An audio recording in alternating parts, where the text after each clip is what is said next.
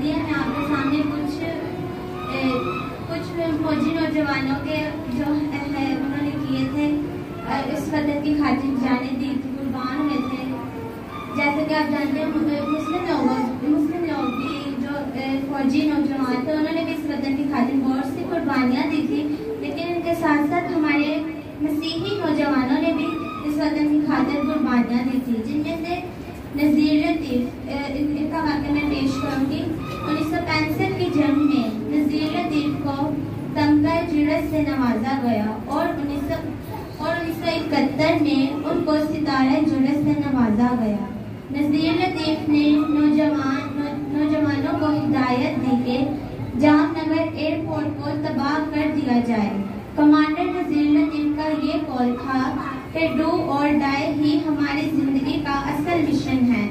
उस वक्त हमारी कम थी और सब सोच में पड़ गए कि कौन जाएगा इस मिशन को पूरा करने। तब हमारा मसीह फौजी नौजवान कैप्टन नजीर लतीफ़ ने आगे बढ़कर ये हथ उठाया कि मैं जाऊँगा जामनगर एयरपोर्ट को तबाह करने और इसी मिशन के दौरान वो अपने वतन पाकिस्तान पर कुर्बान हो गए। इसी के साथ मैं आपके सामने एक और फौजी नौजवान की वाक्य पेश करूँगी जिनका नाम है यकूब मसीह। पांडु के मज़ाक पर होने वाली 1948 की जंग में कैप्टन सरवर शहीद हुए थे और उनको निशाने हैदर मिला था। इस जंग में फतह होने के बाद पहाड़ी पर झंडा लहराने वाला हमारा फौजी, मसीह फौजी नौजवान यकूब मसीह वक्त यकूब मसीह का जिसम पोलियो से छल्ली हो चुका था। मगर जख्मियों मगर जख्मों की परवाह किए बगैर यकूब मसीह ने अपने मुल्क पाकिस्तान का परचम हवा में लहरा दिया और शहीद हो गए। यकूब मसीह को भी निशानी हैदर से नवाजा गया। शुक्रिया। मैं आज आपके साथ एक मसीह फौजी नौजवान के बारे में बताऊँगी, जिसका नाम है पीटर क्रिस्टी पीटर क्रिस्टी हमारी एयरफोर्स का एक बहादुर और निडर फौजी था। उन्नीस सौ पैंसठ की जंग जब शुरू हुई, तब पीटर क्रिस्टी पीआईए में काम करते थे।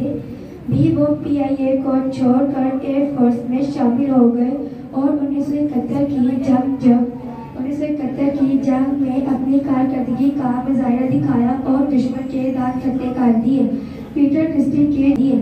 पीटर क्रिस्टी की ज़रूरत और काबिलियत को मद्देनजर रखते हुए इनको सारे ज़रूरत से नवाजा गया।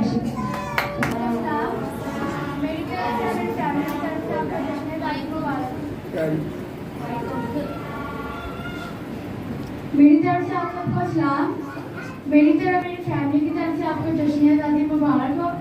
आज मैं आपको उस मुस्लिम नौजवान का वाक्य बताऊँगी, जिसने मुल्क पाकिस्तान के लिए अपनी जान कुर्बान कर दी थी, जिसका नाम है कैप्टन दानियाल जब मशरकी पाकिस्तान के हालात खराब हुए तो कैप्टन दानियाल अपनी मदद आपके तहत लोगों की मदद करने पहुँच गए। तेरह दिसंबर की सुबह दानियाल अपने एक मिशन से वापस आए, अपने घर नाश्ता कर रहे थे। फिर खबर मिली, इकतीस पंजाब प्लेटून पर हमला हो गया है। खाना छोड़कर दानियाल अपने साथियों को बचाने आए। दुश्मन से मुकाबला करते हुए सीना गोलियों से छन्नी हो गया। उन्होंने जल्द से अस्पताल ले गए। डॉक्टर गोलियाँ निकालने लगे तो डॉक्टरों से कहा कि गोलियाँ मेरी माँ तक पहुँचा देना और खुद वतन पर कुर्बान हो गए, शुक्रिया।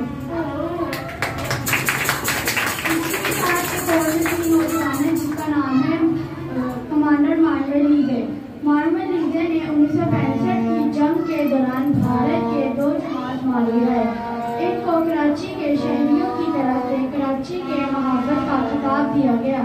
उन्नीस सौ इकहत्तर की जंग में सितारे ज़रूरत से नवाजा गया। इतफाक की बात है कि उन्नीस सौ पैंसठ की जंग में जो मुश्किल पेश आई, फिर वही मुश्किल उन्नीस सौ इकहत्तर में दरपेश थी। इस मिशन जिसको डू और डाई का नाम दिया गया था जिसमें जामनगर एयरपोर्ट पर हमला करना था। जहन में ये बात भी थी कि वापसी का कोई रास्ता नहीं। तारीख ने अपने आप को दोहराया। इस तरह फिर से एक मसीही नौजवान कमांडर मार्वल लीजे ने अपने वतन जान कुर्बान कर दी यर्दन के शाह हुसैन ने पाकिस्तान की सदर से दरख्वास्त की थी कि कमांडर मार्वल लीजे को पाकिस्तान के परचम में लपेट कर दफन किया जाए और यमन का परचम इनके सर के नीचे रखा जाए। अजीम कमांडर हमारी तरफ़ से खराज तस्लीम होगा, लेकिन उसकी ये ख्वाहिश पूरी ना हो सकी, क्योंकि पीटर क्रिस्टी की तरह कमांडर मार्वल लीजे का जैसे खाकी ना मिल सका। इन सब अजीम कमांडर्स के बारे में आप सबको बताने का मकसद सिर्फ़ ये है कि पाकिस्तान की खातिर मुसलमानों ने ही कुर्बानियाँ नहीं दी, बल्कि हमारे नसीब नौजवान आए अपने घर नाश्ता कर रहे थे।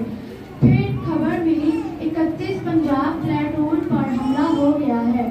खाना छोड़कर दानियाल अपने साथियों को बचाने आए। दुश्मन से मुकाबला करते हुए सीना गोलियों से छन्नी हो गया उन्होंने जल्द से अस्पताल ले गए। डॉक्टर गोलियाँ निकालने लगे तो डॉक्टरों से कहा कि गोलियाँ नहीं मेरे तब में हैं। मेरी माँ तक पहुँचा देना और खुद वतन पर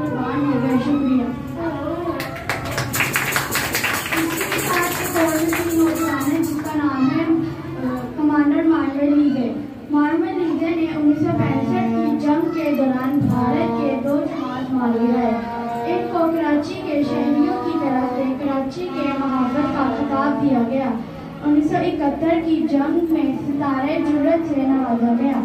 इतफाक की बात है कि उन्नीस सौ पैंसठ की जंग में जो मुश्किल पेश आई, फिर वही मुश्किल उन्नीस सौ इकहत्तर में दरपेश थी। इस मिशन जिसको डू और डाई का नाम दिया गया था, जिसमें जामनगर एयरपोर्ट पर हमला करना था। जहन में ये बात भी थी कि वापसी का कोई रास्ता नहीं। तारीख ने अपने आप को दोहराया। इस तरह फिर से एक मसीही नौजवान कमांडर मार्वल लीजे ने अपने वतन के लिए अपनी जान कुर्बान कर दी। यर्दन के शाह हुसैन ने पाकिस्तान की सदर से दरख्वास्त की थी कि कमांडर मार्वल लीजे को पाकिस्तान के परचम में लपेट कर दफन किया जाए और यर्दन का परचम इनके सर के नीचे रखा जाए। अजीम कमांडर हमारी तरफ़ से खराज तस्लीम होगा, लेकिन उसकी ये ख्वाहिश पूरी ना हो सकी क्योंकि पीटर क्रिस्टी की तरह कमांडर मार्वल लीजे का जैसे खाकी ना मिल सका। इन सब अजीम कमांडर्स के बारे में आप सबको बताने का मकसद सिर्फ़ ये है कि पाकिस्तान की खातिर मुसलमानों ने ही कुर्बानियाँ नहीं दी बल्कि हमारे नसीब नौजवानों और बुज़ुर्गों ने भी अपनी जानों को कुर्बान कर दिया। शुक्रिया।